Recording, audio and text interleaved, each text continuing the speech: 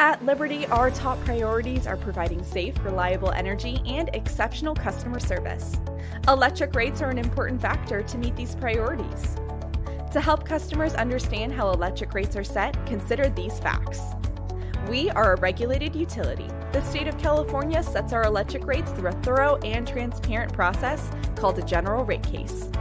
Every three years, the California Public Utilities Commission, or the CPUC, analyzes electric generation and distribution operations and establishes rates consistent with the cost of delivering energy to customers and responsibly maintaining and improving the grid. The CPUC sets a monthly baseline level for residential customers.